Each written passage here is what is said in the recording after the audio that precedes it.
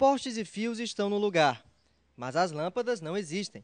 Aliás, existem somente na área que tem calçamento. E o pior de tudo é que é apenas essa rua do Planalto Tremembés. No talão de luz, valores diversos da taxa de iluminação pública.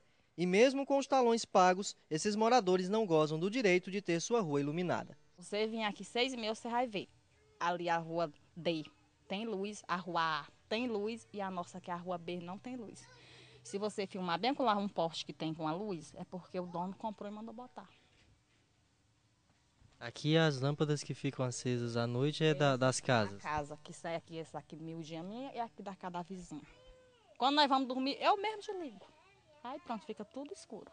As constantes quedas de energia já danificaram diversos aparelhos de Dona Sebastiana, que já não sabe mais o que fazer com tantos prejuízos. Queimou televisão, queimou geladeira, queimou o rádio. Estão tudo aí queimado. Falta sempre energia aqui? Aqui é toda hora ela tá faltando, tá dando circuito. Toda hora aqui. Na hora que a gente pensa. Esse menino aí, eu pensei que ele tinha desligado.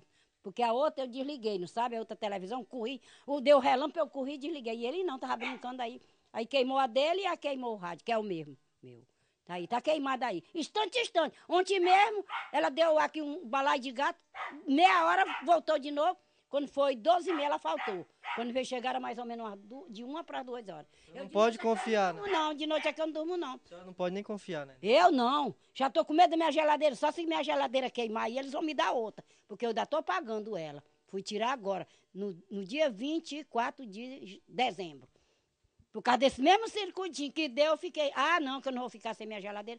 Tentamos falar com a direção da empresa KV, responsável pela iluminação pública da cidade, mas fomos informados de que nenhum funcionário pode dar entrevista caso a direção não se encontre na cidade, o que está acontecendo onde o diretor está em Teresina.